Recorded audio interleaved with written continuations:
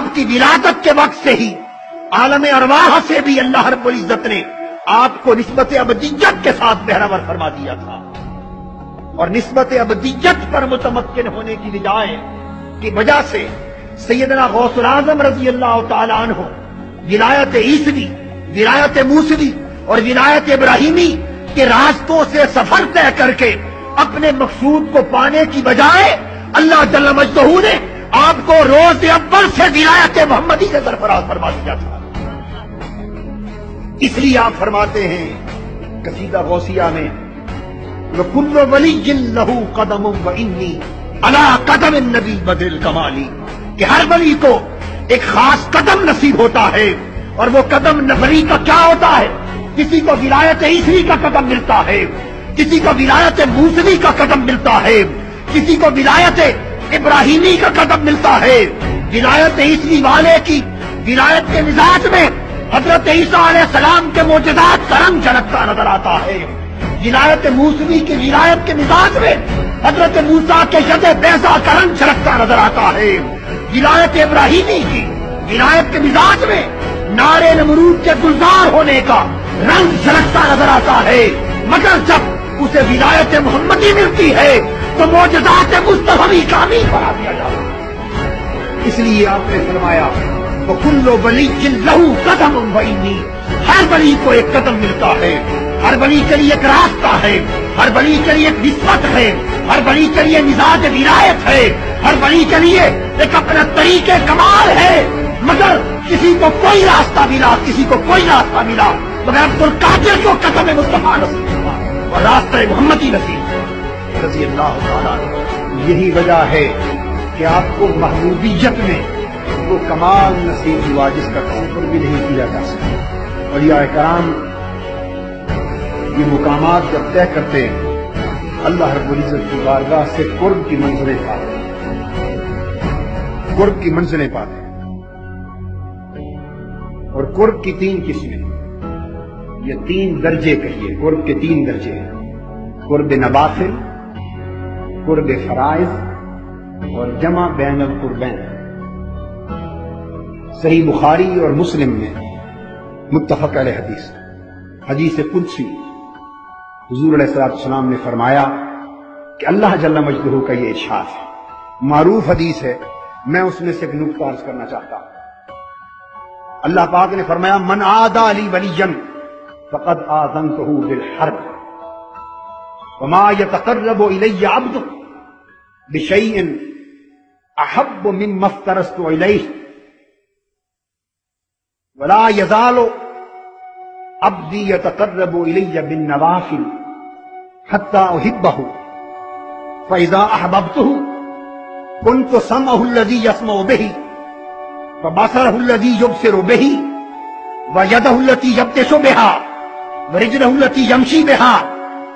व इन सालनी लौतियन्नहु वला इन इस्ताअतनी लौइजन्नहु आप अल्लाह पाक ने फरमाया कि जिसने मेरे वली और मेरे दोस्त के साथ अदावत और दुश्मनी रखी, वो जान ले कि मेरा उसके साथ ऐलान जंग है। वो जंग कब बपा होती है, ये अल्लाह और अल्लाह का रसूल बेहतर जानता है, मगर उसके साथ ऐलान जंग है।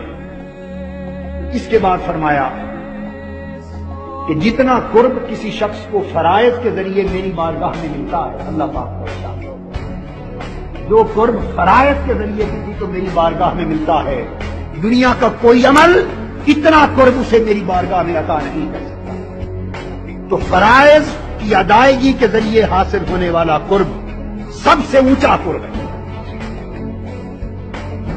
हिम्मत तरफ़ तो अलई अब किस मकाम पर हिम्मत तरफ़ तो अलई इसमें कुर्ब फरायज का इशारा कि जो कुर्ब फरायज के बायस मिलता है, दुनिया का कोई अमल उस कुर्ब को नहीं पा सकता।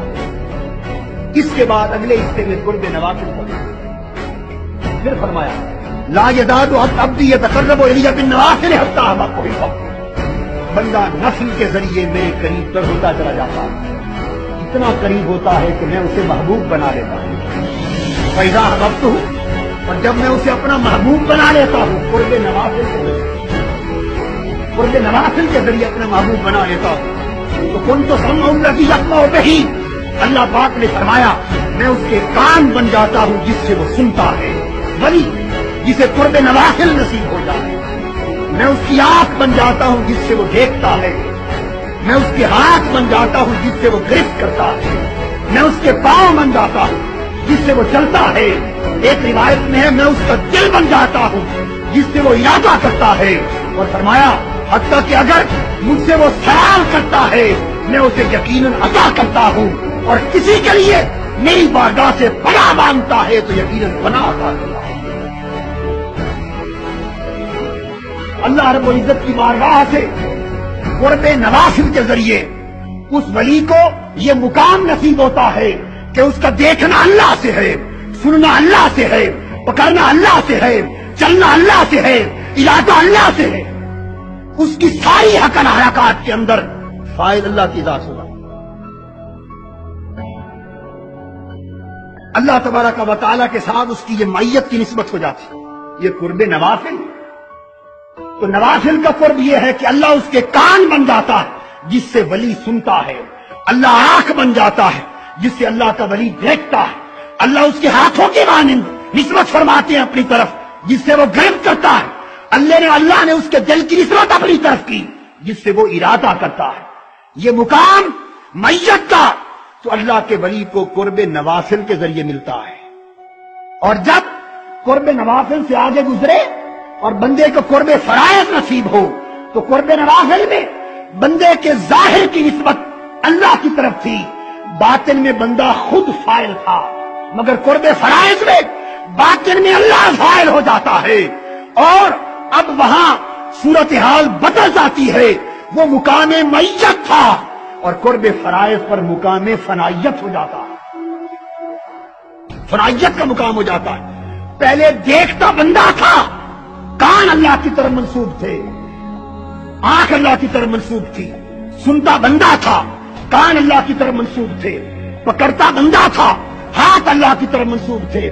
मगर कुर्ब फरायज के मुकाम पर बंदे का देखना न रहा। आँख बंदे की हो गई, देखना रब का हो गया।